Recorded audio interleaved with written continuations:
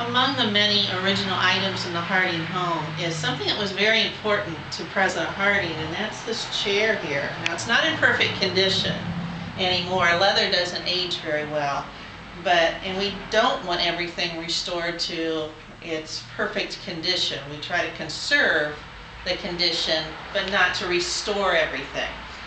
This chair is featured in this picture, and this was taken in July of 1921.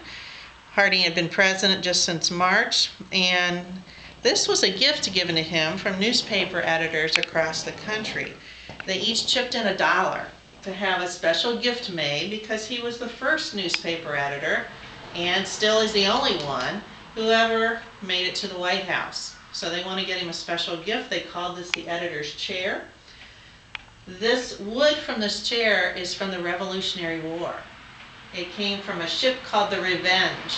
The Revenge was part of our very small American Navy during the Revolutionary War. The ship sunk on Lake Champlain, and some of the wood from the ship was salvaged in 1909, and that wood was used to make this chair.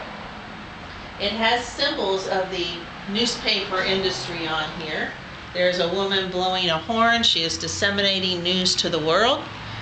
And on the other side is a hand holding lightning bolts. It's harnessing that power of communication, all under the watchful eye of the American Eagle. Newspapers were the only way you were going to get news in that day. So that was the heyday of newspapering.